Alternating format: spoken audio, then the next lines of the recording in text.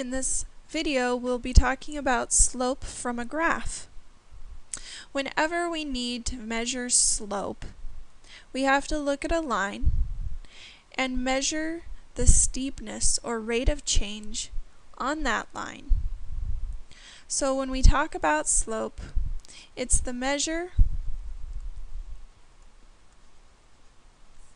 of steepness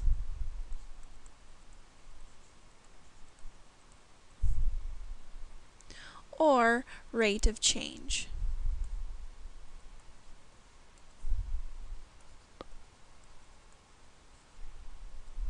Another way we can think about this is the rise or the y direction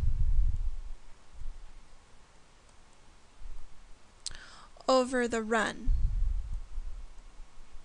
or the x direction, the horizontal measure. If we have a negative slope, if we look at that line heading from the left to the right, just like you read a book, you read from the left to the right, then we see that the line is heading downwards.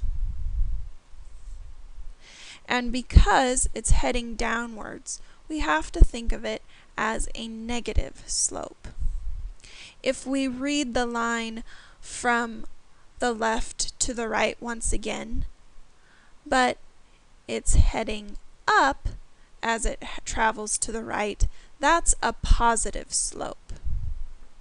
So down would be considered negative when we're talking about a slope of a line, and up as we head to the right would be positive slope. A big slope would be something that has a very steep slope. This would be if you're thinking about maybe climbing a hill or something like that where it would be really hard to climb that hill because it would be so steep. That would be a big slope. A small slope would be something very, very slow. Slowly decreasing or slowly increasing for that matter. So,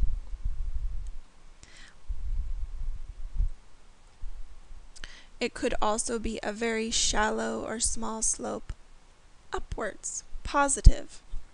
So just so you can understand the difference between the two. Let's try some examples.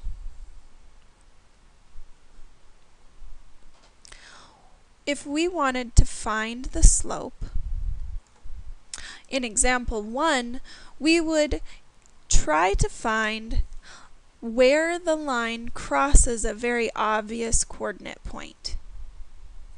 And once again, another coordinate point, somewhat far apart. Sometimes this is easier to find than others, but you always want to make sure that the line crosses a very obvious intersection to find a coordinate spot. So at this point, we notice that the line crosses at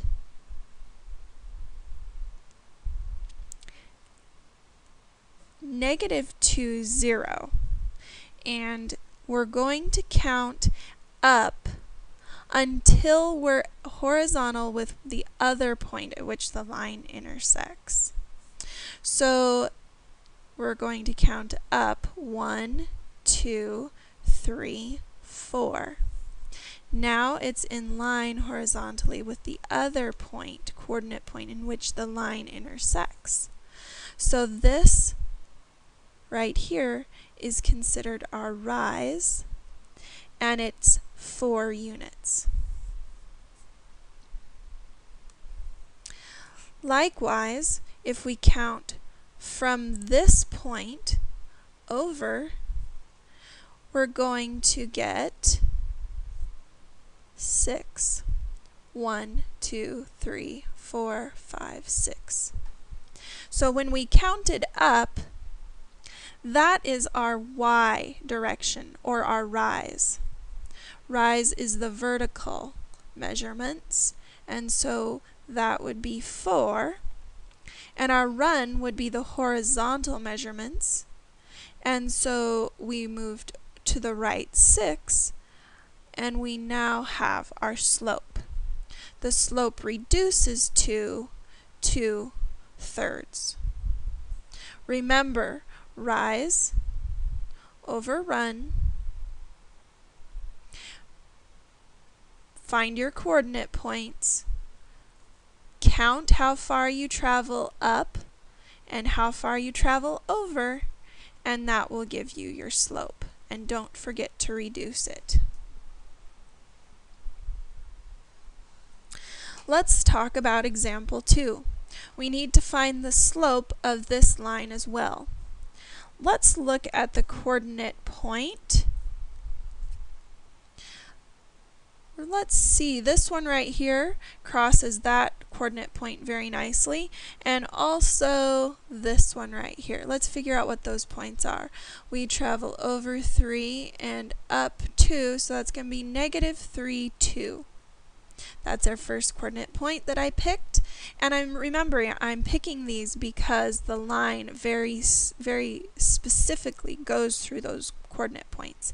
It wouldn't be as easy to figure out what this point right here would be just because it's not at a very specific intersection. Alright, so now we have to count our rise and run from the graph to see what our slope will be.